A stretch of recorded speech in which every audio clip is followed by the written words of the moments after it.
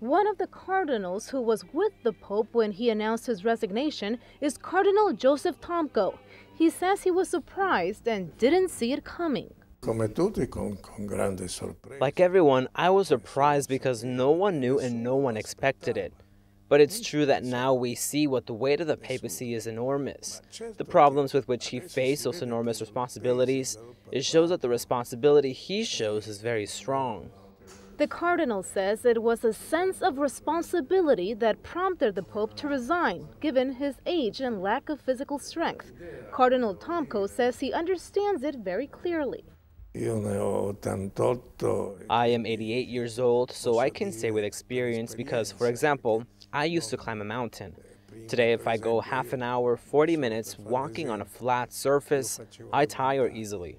In his lifetime, Cardinal Tomko has seen six pontificates. He says the same questions arise over and over again. After this great pope, who will be the next? We live in a period of great popes, great in truth, in the same way that in the past we had several that were not very great. So we see that the Holy Spirit has chosen well. And that decision will also depend on the 117 cardinals that will gather in the Sistine Chapel in the coming weeks for the conclave.